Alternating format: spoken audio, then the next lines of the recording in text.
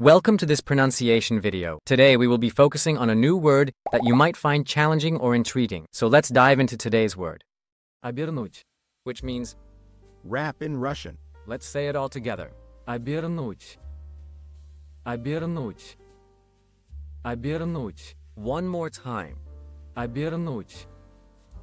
Обернуть. Обернуть.